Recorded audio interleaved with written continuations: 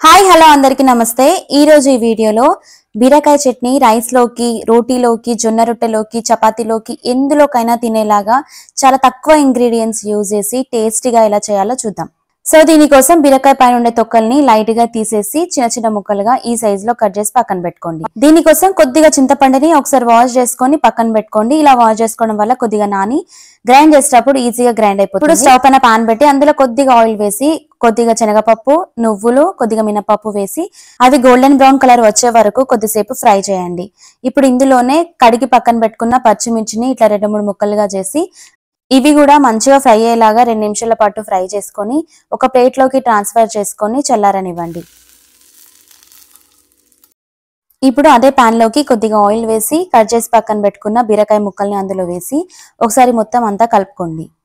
ఇలా బీరకాయ ముక్కలకి మనం వేసిన ఆయిల్ తగిలేలాగా ఒకసారి కలుపుకొని మూత పెట్టేసి రెండు నిమిషాల పాటు మగ్గించుకోండి. ఇలా మనం రెండు నిమిషాలు మగ్గించుకున్న తర్వాత బీరకాయ నుంచి వాటర్ రావడం స్టార్ట్ అవుతుంది. ఈ స్టేజ్లో దీనికి తగినంత ఉప్పు వేసి మళ్ళీ ఒకసారి అంతా మంచిగా మిక్స్ అయ్యేలాగా కలుపుకోండి.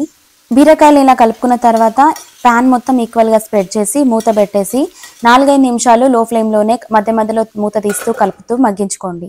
మనం సాల్ట్ వేయగానే బీరకాయ నుంచి మొత్తం వాటర్ బయటికి రావడం స్టార్ట్ అవుతుంది. ఈ వాటర్ తోనే మనకు బీరకాయ మొత్తం ఉడికిపోతుంది. ఇప్పుడు దీనిలోకి కొద్దిగా పసుపు అలాగే కొద్దిగా కొత్తిమీర కూడా యాడ్ చేసి ఒక నిమిషం పాటు లో ఫ్లేమ్లోనే ఫ్రై చేసుకొని స్టవ్ ఆఫ్ చేసుకోండి. కొత్తిమీర మొత్తం పూర్తిగా ఉడకాల్సిన అవసరం లేదు. ఇలా ఒక నిమిషం పాటు కలుపుకుంటే సరిపోతుంది. ఒక చిన్న బీరకాయ ముక్కని మనం కొద్దిగా ప్రెస్ చేసి చూస్తే అది ఉడికిందో లేదో మనకు తెలిసిపోతుంది. రెండు ముక్కలుగా ఈజీగా కట్ అయితే అది ఉడికిందనమాట. ఇప్పుడు ఈ మొత్తం మిశ్రమాన్ని ఒక ప్లేట్లోకి ట్రాన్స్ఫర్ చేసుకొని చల్లారనివ్వండి. మనం ఆల్రెడీ ఒక ప్లేట్లోకి పచ్చిమిర్చిని ఫ్రై చేసి పక్కన పెట్టుకున్నాం కదా అది చల్లారిన తర్వాత ఇలా ఒక జార్లోకి ట్రాన్స్ఫర్ చేసుకొని అందులోనే కడిగి పక్కన పెట్టుకుని చింతపండుని కొద్దిగా జీలకర్రని నాలుగైదు వెల్లుల్లి రెబ్బల్ని కూడా వేసి మంచిగా గ్రైండ్ చేసుకోండి. ఇలా మనం వేసిన పప్పులు నువ్వులు అన్ని మంచిగా ఫైన్ పేస్ట్ లాగా గ్రైండ్ అయ్యేలాగా చేసుకొని ఇందులోనే ఇప్పుడు బీరకాయల్ని ఉడికించుకున్నాం కదా దాన్ని కూడా ట్రాన్స్ఫర్ చేసుకొని గ్రైండ్ చేసుకోండి.